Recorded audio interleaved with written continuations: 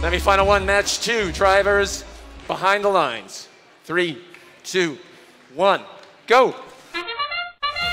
We're in the second match for the semifinal, and teams are trying to get these as much cargo into their that hub as possible.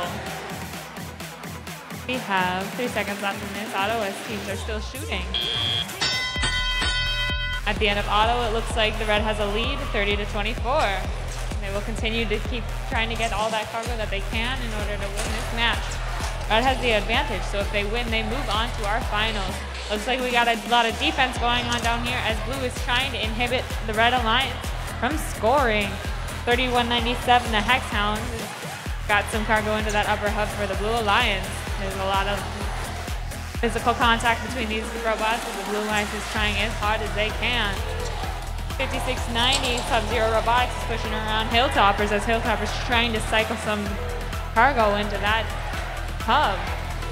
They are doing a really big job of like keeping the Red Alliance, but the Hilltoppers get through and they score two cargo into that upper hub. 2052 doesn't look to be able to move very much as 5690 is doing some defense on it.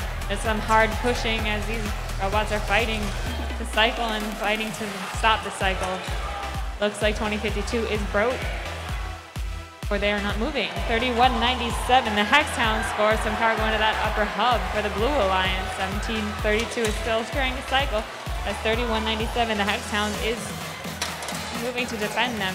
2531 is moving for the Red Alliance. I get some cycling in. We have 45 seconds left in this match. Blue Alliance does have a lead now. 40 to 34. Red Alliance scored some cargo into that upper hub for their team. Looks like 2052 is now back on the move again as they shoot a cargo up to that upper hub. They're back online. Hilltoppers is scoring for the Red Alliance, and the, the gap between teams is closed. They are now tied. Blue Alliance has some has a robot up getting to that traversal. We have 20 seconds left in this match. It is neck to neck. Cargo is going in for the Red Alliance. Red Alliance is trying to get cargo up and trying to get their robots out to get those point hanging points. We have eight seconds left in this match and robots are climbing and climbing. Five, four, three, two, one. We will see how that hanging affects this match as our score. The Blue Alliance wins!